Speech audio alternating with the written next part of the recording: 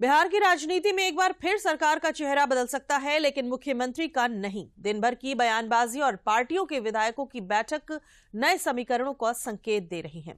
भाजपा के विधायकों और सांसदों की पटना में हुई बैठक, वहीं जीतन राम मांझी ने अपने विधायकों के साथ हुई बैठक में कहा, जहाँ पीएम मोदी, वहीं हम। बिहार में मुख्यमंत्री नीतीश कुमार के नेतृत्व वाली महागठबंधन सरकार कायम रहेगी या फिर गिर जाएगी, इसकी तस्वीर साफ़ होना अभी बाकी है। लेकिन आरजेडी और जेडीयू की ओर से हो रही बयानबाजी से साफ़ है कि नीतीश कुमार किसी भी समय पाला बदल सकते हैं। महागठबंधन का साथ छोड़ फिर एनडीए के खेमे में जा सकते हैं। शनिवार को पटना से लेकर दिल्ली तक बैठकों का दौर जारी रहा। बिहार के मुख्यमंत्री नीतीश कुमार के आवास पर जेडीयू की कोर ग्रुप की बैठक हुई। हालाँकि पार्टी विधायक दल की बैठक रविवार सुबह 10 बजे होगी। सियासी हलकों में कास लगाया जा रहा है कि नीतीश कुमार आज ही अपने पद से इस्तीफा देकर नई सरकार बनाने का दावा पेश कर सकते हैं। अटकलें ये भी लगाई जा रही हैं कि नीतीश कुमार रविवार को नए मुख्यमंत्री के रूप में शपथ ले सकते हैं। इस बीच जदयू नेता नवीन कुमार ने आरजेडी नेतृत्व पर बड़ा आरोप लगाया है। उन्होंने कहा कि घोटालों के कारण आरजेडी नेतृत्व बेचैन है। राजद नेतृत्व बेचैन है। बेचैनी का कारण साफ़ है कि चूँकि इन लोगों की आदत में सुमार रहा है नौकरी के बदले ज़मीन लेने का तो दो लाख पंद्रह हज़ार शिक्षकों की बहाली जो तय सीमा में माननीय नीतीश कुमार जी के नेतृत्व में हुआ जिसमें न पदस्थापन में चल पाया न नौकरी देने में चल पाया।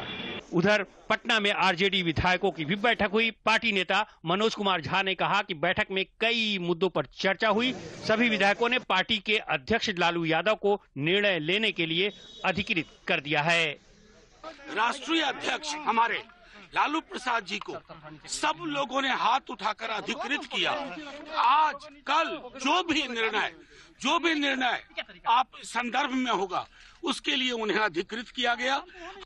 बिहार में राजनीतिक गहमा गहमी के बीच भाजपा की पटना में कोर कमेटी की बैठक हुई। बैठक में भाजपा सांसद सुशील कुमार मोदी, केंद्रीय मंत्री नित्यानंद राय, प्रदेश अध्यक्ष सम्राट चौधरी समेत दूसरे बड़े नेता मौजूद रहे। कोर कमेटी के अलावा भाजपा की कार्य समिति की बैठक पटना स्थित कार्यालय में हुई। बैठक में पार्टी के तमाम बड़े नेताओं ने हिस्सा लिया। बिहार और देश के हित में केंद्रीय नेतृत्व के निर्णय के हम सब साथ हैं। बात दरवाज़ा खुलने और बंद करने की नहीं है बात है कि बिहार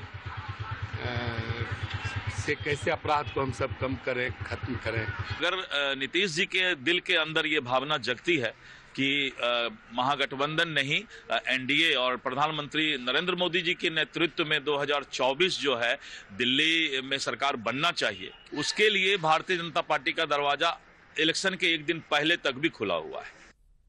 बिहार में वर्तमान राजनीतिक स्थिति के बीच एलजेपी नेता चिराग पासवान ने बीजेपी अध्यक्ष जेपी नड्डा और केंद्रीय गृह मंत्री अमित शाह से मुलाकात की। ये बैठक करीब आधे घंटे तक चली। चिराग पासवान ने कहा कि ताज़ा परिस्थिति को लेकर बीजेपी नेतृत्व को अपनी चिंताओं से अवगत कराया है।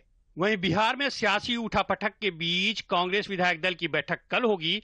सवाल उठता है कि आखिर इंडी गठबंधन में ऐसा क्या हुआ कि विपक्षी एकता की शुरुआत करने वाले नीतीश कुमार महागठबंधन से दूरियाँ मनाते दिख रहे हैं। हालाँकि ललन सिंह को जेडीयू के अध्यक्ष पद से हटाए जाने के बाद से ही नीतीश के महागठबंधन छोड़ने की अटकलें लगाई जाने लगी थी।